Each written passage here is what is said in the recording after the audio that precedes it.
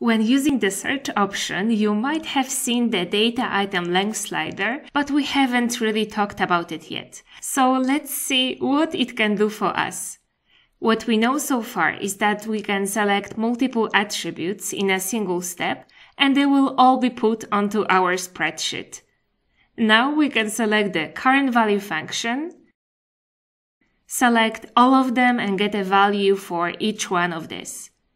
But it is a lot of text in our spreadsheet, so let's see how we can present it in a different way. Let's go back to search. When I move this slider, you can see that it defines a separation point between the root path and the data item. Now, when I select to insert root paths in column or row, you can see that the results are now put onto our sheet in two separate cells. So now I can select my root path and data items. And I can just remove this because I don't really need it. Now I can organize the data in my report a little bit.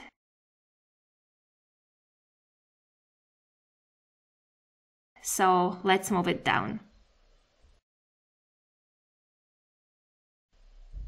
I also want to show you how to insert the results in a drop-down list. Let's go back to search.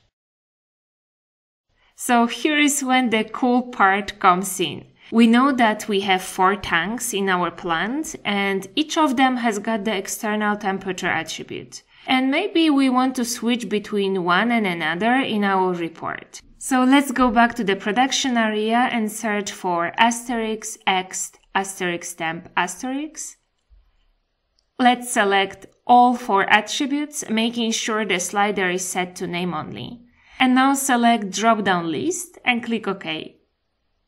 And now you can see how we can change between our tanks and the values will update.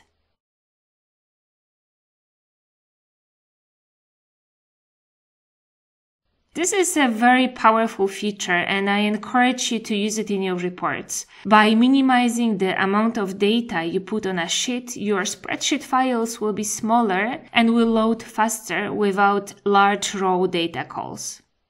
Another feature that I want to show you is the element relative search functionality provided in PI DataLink through the asset filter search option. The asset filter is helpful for searching the AF database for elements and filtering the returned elements by the attribute values.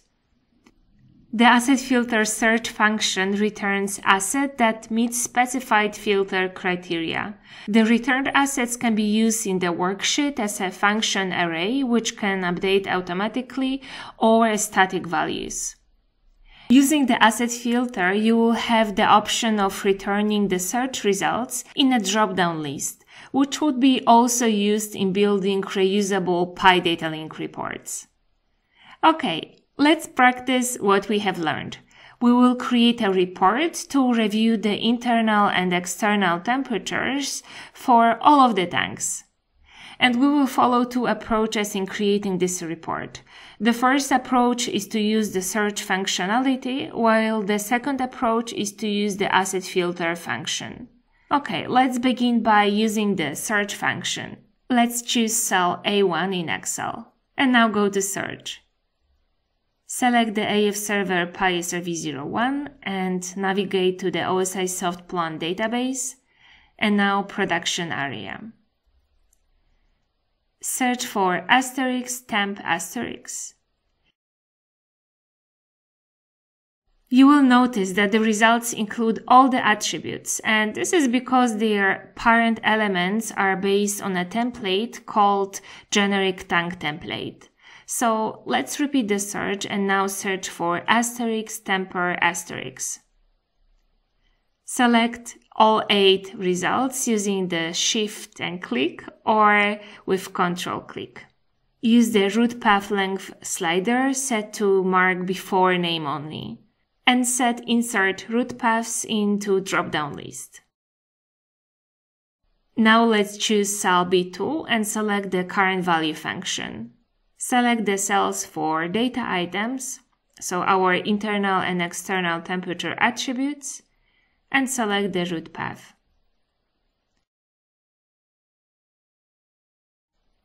As you can see now the tank path can be modified with the drop-down list. Now let's see how to create the same drop-down list using the asset filter option. First, let's add a new sheet. Choose cell A2. Alright, click on the asset filter from the search section under the root path, specify the path to the production area element under the element template, select generic tank template. Under the attributes to display, select external temperature and internal temperature.